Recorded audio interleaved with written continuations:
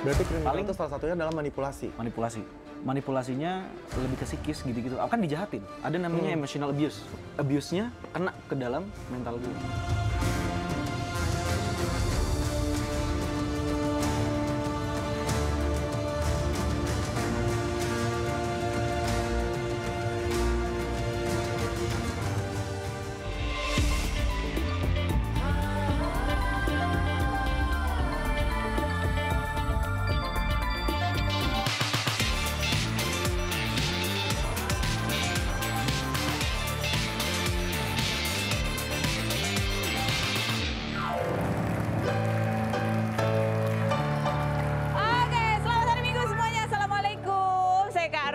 Hari ini, aduh, di hari Minggu tapi eh, lumayan padat ya.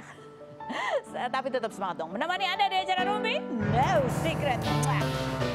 Bersama Daniel dan tentunya ada beberapa bintang tamu yang akan kita ajak ngerumpi berita-berita yang update yang bikin kita kepo-kepo dan juga eh, kita ke pojokan tentunya ya untuk membahas berita-berita apa sih yang menjadi sorotan publik baik itu datang dari dunia nyata maupun dari dunia maya. Oke. Berita apa sih? Ini sebenarnya banyak hal. Teman yang lagi masih kita kepoin adalah bagaimana perkembangan hubungan antara Ria Ricis dan juga hmm, Tengku Rian. Ya, coba kita lihat postingannya Rian dan Mona di bandara gitu. Ya, terus ini ini kan dia di bandara nggak tahu mau ke mana. Apakah dia mau ke Jogja gitu kan nyamperin Ricis ya. Terus, eh, nah tapi ada komentar netizen yang ini, netizen eh, CCTV. Sampai bisa tahu loh captionnya berubah gitu. Captionnya diubah kenapa? Papa nunggu Moana pulang, emang nggak serumah katanya gitu ya. Papa nunggu Moana pulang, emang nggak serumah. Ini tadi, oh, yang tadi tuh jadi jadi apa captionnya jadi berubah jadi apa? Coba kita lihat yang tadi bacanya. Ini bunyinya adalah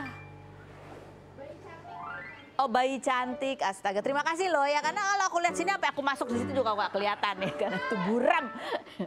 Baik secara kualitas maupun mata saya juga sudah tidak bagus ininya ya jauh dekat.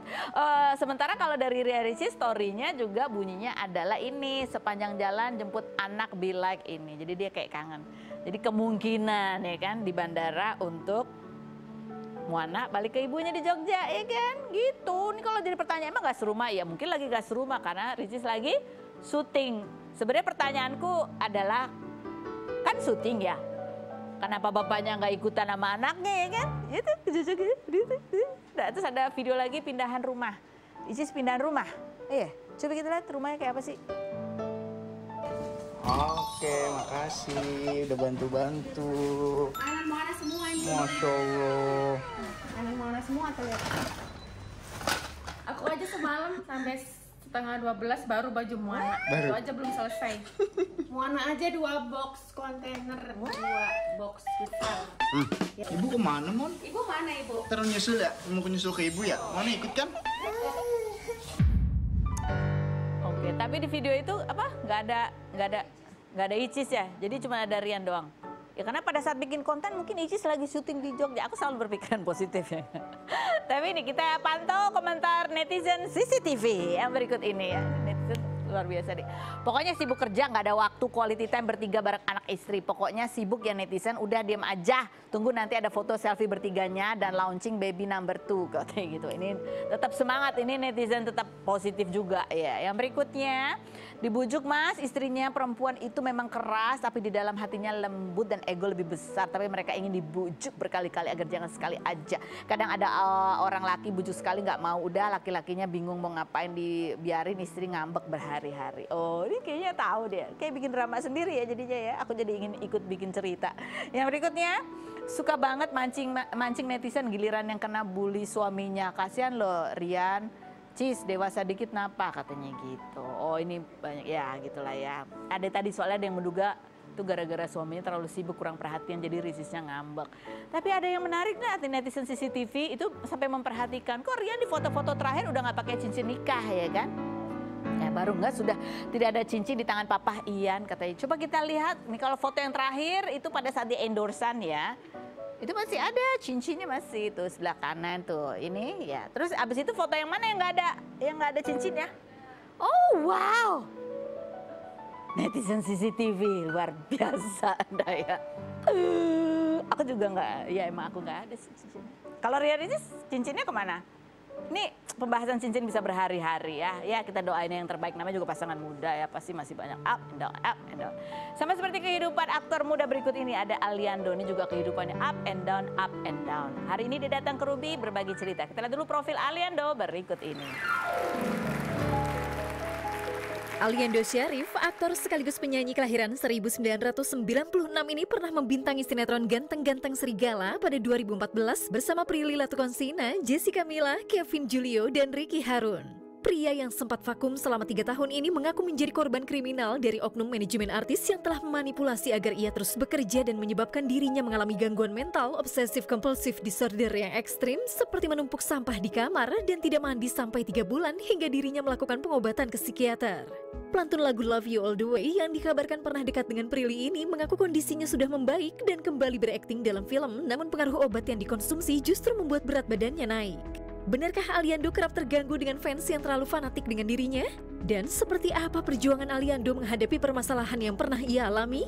Saksikan kisah selengkapnya hanya di Rumpi No Secret.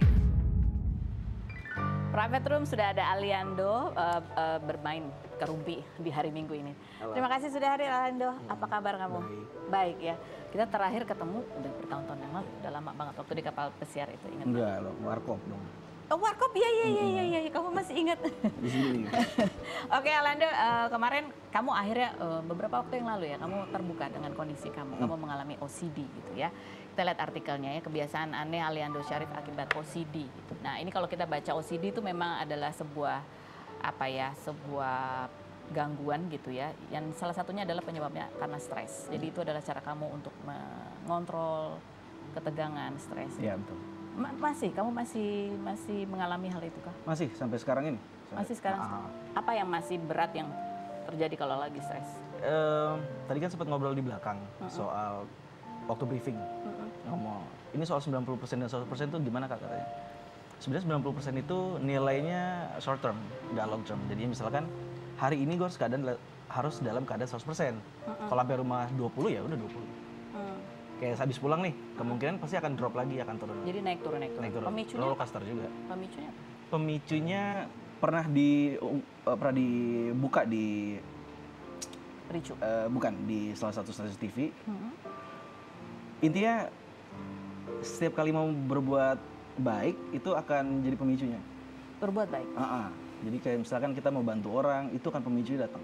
Jadi makanya kita jadi jadi ya sifatnya jadi apa ya? Kayak apatis. gitu. Pasti ada trauma di balik itu. Trauma enggak juga. Trauma sih nggak pernah ada trauma karena mungkin laki-laki ya, laki-laki nakal lagi si bocah tuh jadinya enggak pernah eh, takut sebenarnya. Jadi kalau trauma lebih tepatnya segan kali ya. Segan berbuat baik. Segan enggak. Jadi Ali ini orang yang seganan misalkan Nggak enakan. eh, iya jadinya ketika segan itu sudah dipres dengan rasa marah sama orang subjeknya ya gitu ya, sama orangnya itu udah pasti langsung wah makin down gitu ya bukannya makin berani untuk nantang malah makin down gitu Oh. jadi mungkin itu sih Jadi kalau ada hal-hal di mana kamu disuruh melakukan sesuatu, ada orang yang bersikap sesuatu yang kamu nggak suka, kamu biasanya nggak berani ngomong, sehingga itu kayak kamu pendem di Iya. dalam. sehingga itu akhirnya menimbulkan rasa marah. marah sih enggak juga Marah nggak? enggak. Terus apa dong? Kebingungan justru Kebingungan. Heeh, apa yang bikin kamu bingung? yang bikin bingung ini keadaannya aja sih maksudnya Apa yang kamu rasakan? Bingung? oh, oh, bingung-bingungnya kalau marah sih enggak sih enggak marah eh justru tertekan ya Tertekan? Ah, jadinya justru sedih bukan Oh, marah Oke. sedihnya kenapa jadi kayak gini gitu semuanya gitu kalau marah ya nggak se- selagi tidak dendam itu sih nggak apa-apa marah kan semua orang boleh Tapi emang boleh marah. Kamu merasa bersalah kalau kamu marah? enggak Enggak. Oke. bagus kan Ya bagus. Eh, ag- agak ya ya. Apa yang membuat kamu akhirnya mau bercerita itu? Dan setelah kamu bercerita, apa yang kamu rasakan? Apakah kamu merasa lebih enteng? enggak sih enggak ada jadi semua metode dari psikolog gitu ya, disuruh bercerita disuruh terbuka disuruh hal ini hal itu hmm, ini bukan masalah OCD-nya ini masalah kejahatan yang dilakukan oleh oknum jadinya OCD-nya hanya dampak eh, kedua dari hal pertama ini gitu itu kan tadi di Ya. di playback tadi Oke, coba kita lihat ini ya. Ini salah satu yang mungkin mungkin ya, atau ini kejahatan yang kamu alamin yang yang itu yang terjadi sehingga kamu men-trigger kamu mengalami OCD. Coba kita lihat cuplikannya. Berarti kriminal itu salah satunya adalah manipulasi. manipulasi manipulasinya lebih ke psikis gitu-gitu kan dijahatin ada namanya emotional abuse nah di sana abuse-nya kena ke dalam mental gua gua dipaksa untuk bekerja untuk menduiti mereka kalau enggak gua akan disiksa Ini orang si pelaku semacam manajemen. ya gue dipush terus uh, untuk kerja abis itu ada yang nunggu juga Semacam lu tuh jadi barang dong Iya. sama mereka. gue ditunggu juga tuh ditunggu untuk apa yang mau dikeluarkan lagi gitu loh Iya, jadi oke. ya jadi kayak tender apa ini ada Iya, bisa iya. nggak nih gitu namun ketika push itu ada mau nggak mau gue harus bilang kepada orang-orang yang mungkin eh, eh, ngetender Hmm. bahwa gue karena OCD gitu. Oke, Aliando tadi aku tanya sama Aliando itu kapan kejadiannya Aliando gitu. Dia bilang setelah dari sini gitu. Berarti kan kamu kan dulu terkenal sekali dengan ganteng-ganteng serigala Iya. gitu ya. Terus habis itu kamu sempat hilang gitu ya. Iya. Terus habis itu muncul lagi gitu, muncul lagi. Lalu ada cerita ini, makanya aku tanya ini kejadian kapan? Apa sih kejahatan yang kamu alamin? Kamu bilang kamu mengalami uh, physical Iya. ya, abuse. Pertama kali merasakan setelah 2019 itu setelah syuting film yang bisa di luar kok. Jadi pertama kali setelah keluar dari eh, film itu selesai, tadinya itu sempat ada beberapa project gede tadinya 2019 itu. Eh, mengikut sertakan banyak artis juga tadinya. Salah satunya ada artis muda juga, ada anak artis juga, yang pada akhirnya eh, salah satu si anak artis ini membawa salah satu manajer Hmm. dan dia tiba-tiba menguasai pembicaraan dan segalanya. Dan ketika dia kayak ya gini ya, orang yang jago berbicara belum tentu bisa beraksi dengan baik gitu ya. Dia eh, berbicaranya sangat bagus banget. Jadi seolah-olah semuanya itu bisa di, di- di- diolah sama dia. Sedangkan itu semua punya punya Ali gitu loh. Itu itu hak gua semua. Kenapa jadi lo yang ngatur-ngatur? Dia pun ngerti tentang tentang musik pun tidak, ngerti tentang film pun tidak. Dia hanya orang manajemen gitu ketika gua eh, ketika sudah dibentuk gitu semuanya tiba-tiba dia kayak masukin artis-artisnya dia malah yang nggak diundang cuman karena saya mengundang satu satu teman saya ini Yang manajemennya adalah dia. iya dia ya udah dari sana sih kejahatan mulai Kejahatannya. Nah. Apa aja kejahatan yang dia lakukan? Kamu bilang itu kejahatan, berarti ada sesuatu yang melanggar. iya Eh, karena di program ini bersifat juga kita bisa terbuka ya jadinya disebutnya ada Manipulasi uang? oh bukan Bukan. Apa? making crazy nama Making crazy. nama istilah terminologinya making crazy atau yang juga sering orang Emotional blackmail. Seperti hipnotis dan brainwashing Serius? iya kayak gitu Apa? Apa yang kamu rasakan waktu itu? Kamu jadi apa? Di, diapain sama dia? nggak ngerti justru nggak nggak nggak paham ini makanya sampai sekarang masih dicari tahu ini kenapa apa yang terjadi dan kenapa bisa seperti ini gitu Kamu bisa menyebutkan itu kejahatan? Lah, saya jadi karena saya sendiri ngerasa an- ada yang aneh di dalam diri Diri kamu? Ah, ah. nggak seperti biasanya nggak tidak mengikuti alur yang harusnya seperti dulu lagi malah belok ke mana-mana gitu Mm-mm. Alur yang dulu tuh kayak gimana? Terus jadi apa? Kayak misalkan dulu kan harus mengikuti garis yang memang harus diselesaikan gitu, tanggung jawab tanggung jawab yang udah dilakukan di sebelum sebelumnya.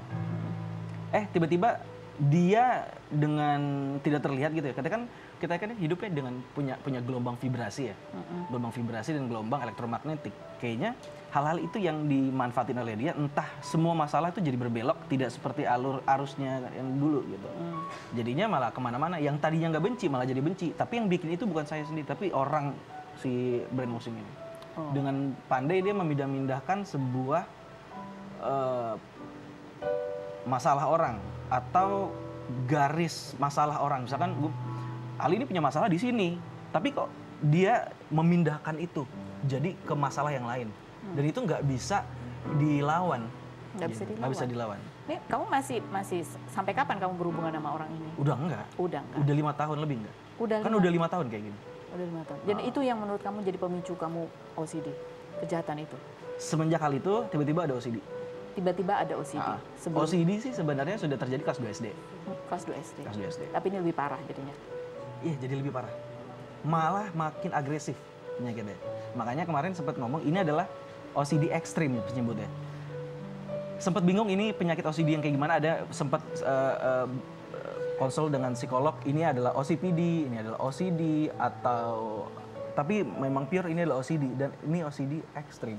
Ekstrim yang kayak sampai kamu kalau itu kamu Nggak bisa mandi, banget. ada juga ada uh, hoarding disorder dan lain-lain. Hoarding dis hoarding tuh artinya mengumpulkan barang-barang menumpuk menimbun Ya. gitu ya. Terus yang parah juga kamu jadi overthinking. Kamu bilang kalau mandi tuh kayak ngerasa harus dihitungin satu karena kontrol, kontrol. Even gerak gimana pun itu nggak bisa. Mau gerak eh, gimana serupa gerak apa pun itu nggak bisa. Makanya that's why bukan cuma mandi sebenarnya.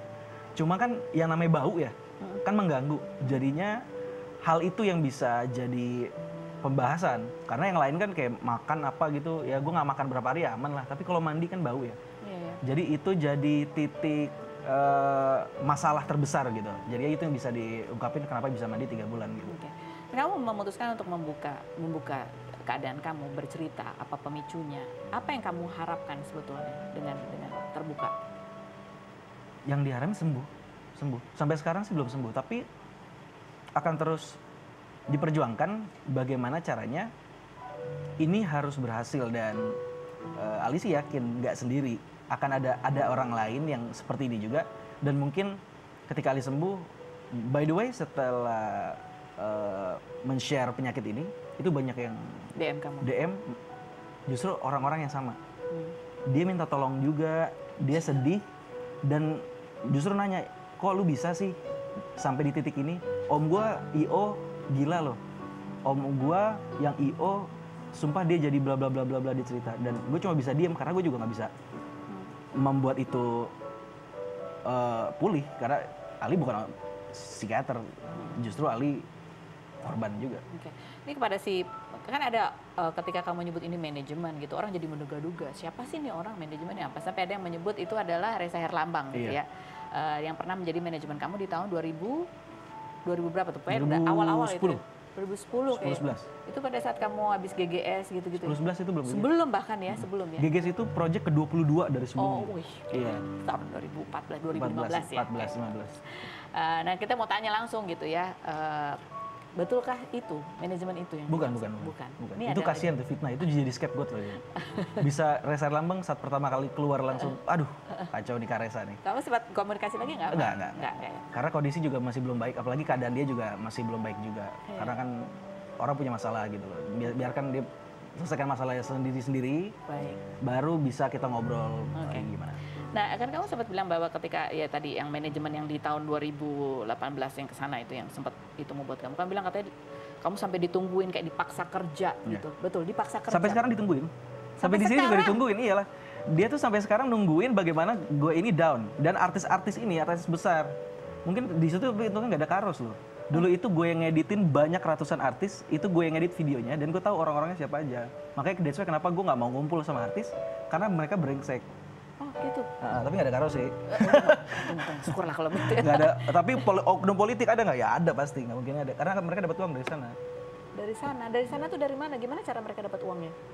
Jadi mereka dengan cara manipulasi ini eh, mereka seperti menjanjikan artis-artis ini atau tokoh-tokoh ya politik yang mungkin dikenal itu dijanjikan dengan uang-uang, tapi dengan cara-cara manipulatif gitu loh. Dengan ancaman yang tinggi, dengan yang lain-lain.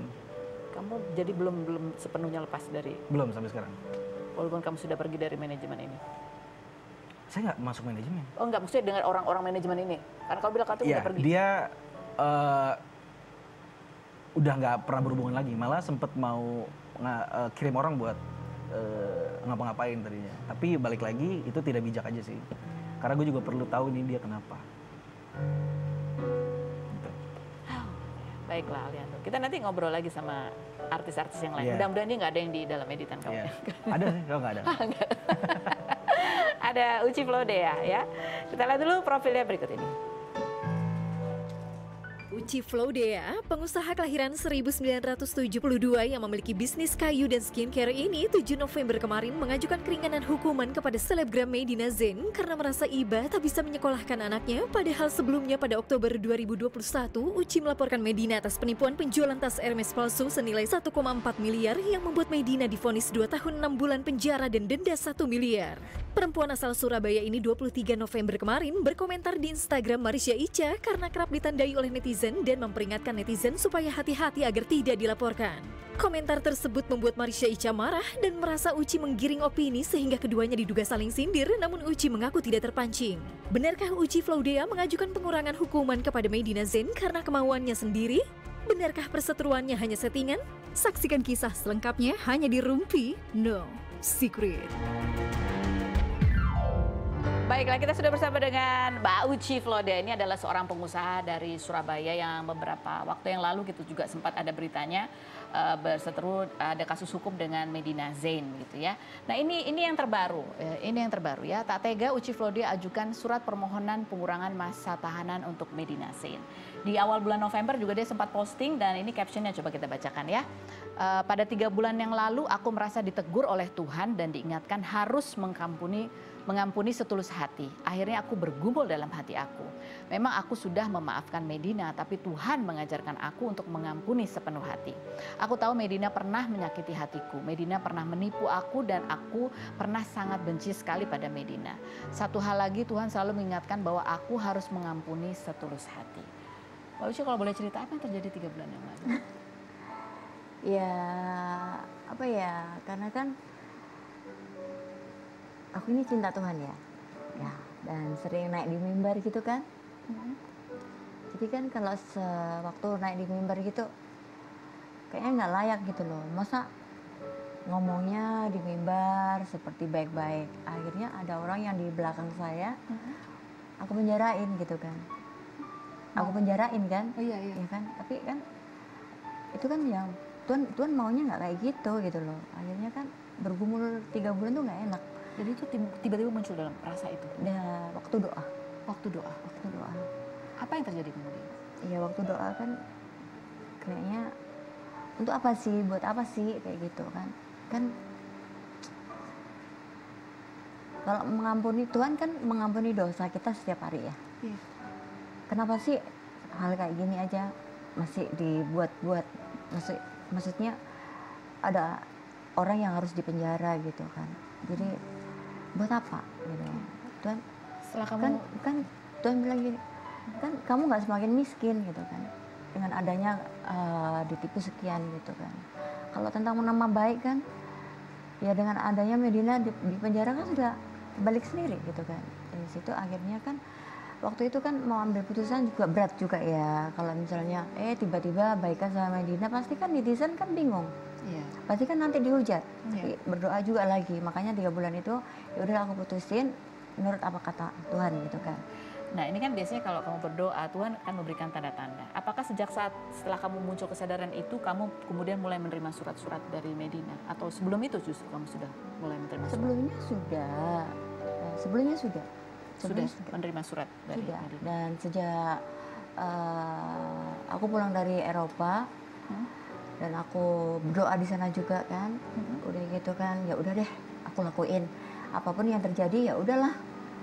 Kalau semua yang kita lakukan untuk Tuhan pasti Tuhan melakukan yang terbaik buat aku juga kan gitu. Oke. akhirnya ya udah aku tengok Medina. Mhm. aku bilang maaf sama dia kan. Kamu bilang maaf sama dia. selalu selalu bilang maaf sama dia. Terus gimana karena apa ya? Dengan adanya dia seperti itu kan gue tahu gue disakitin gitu kan tapi aku te- tetap minta maaf sama dia dari awal dulu waktu sidang. Tetap aku minta maaf. Kamu kamu berceritanya sambil berkaca-kaca apa yang membuat kamu merasa sedih? sedih aja waktu dia eh, bilang katanya ayahnya meninggal dia nggak bisa lihat. Dan anaknya nggak bisa sekolah. Dia kan tulang punggung keluarga ya. Jadi aku merasa itu kasihan banget gitu kayak semakin ketusuk-tusuk gitu loh. Semakin ketusuk-tusuk. Kok jahat banget sih aku ini kayak gini? Aku peluk dia aku Men- aku peluk Medina aku bilang Matt aku akan melakukan sesuatu buat kamu gitu kan kamu di sini hanya berdoa aja gitu berdoa aja Kamu men- eh, menjenguk dia dan kamu juga cerita kemarin kamu sudah beberapa kali juga Eh, tiga kali. tiga kali. oke. Nah, eh, kamu kan sudah juga mengajukan surat katanya eh, surat untuk pengurangan eh, hukuman gitu ya. Ini kamu posting juga.